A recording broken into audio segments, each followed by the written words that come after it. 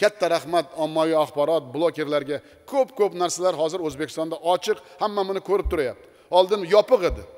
Lekin bitta narsani bilinglar bu ochiqlik hech qachon orqaga qaytmaydi. Qanday ko'p ochiqlik bo'lsa qanday ko'p ommaviy axborot vositalari odamlarimizga adolatli haqiqiy muammolarni qancha ko'p bildirsa man rahbar sifatida minnatdor bo'laman ulardan.